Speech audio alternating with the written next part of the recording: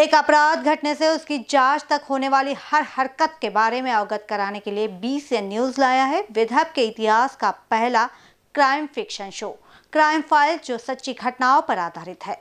हाल ही में इस crime files का पहला एपिसोड बीसीएन चैनल पर प्रसारित किया गया, जिसको दर्शकों का भारी प्रतिसाद मिला।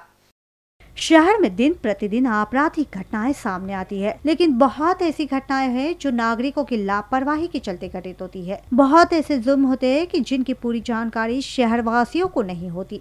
इन्हीं चीज़ों से पर्दा उठाने के उद्देश्य से शहर की जनता को जागरूक करने के उद्देश्य से बीसीएन न्यूज़ लेकर आया है। विदर्भ का पहला crime fiction show crime files जो विदर्भ में घटित सत्य घटनाओं पर आधारित है। इस शो के माध्यम से हम दर्शकों को अपराध घटित होने से, अपराध की जाँच के हर पहलू से अवगत कराना चाहते हैं।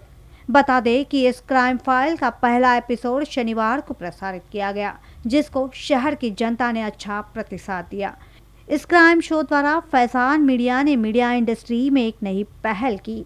इस शो में हमने विदर्भ के कलाकार क्षेत्र के नए चेहरों को मौका दिया, जिससे वे अपनी कला की प्रतिभा दर्शकों के सामने उजागर कर सके। शनिवार को इस एपिसोड के प्रसारण के बाद जनता द्वारा मिले भारी प्रतिसाद के बाद अब जल्द ही इस क्राइम फाइल्स का दूसरा एपिसोड भी दर्शकों के सामने आने जा रहा है।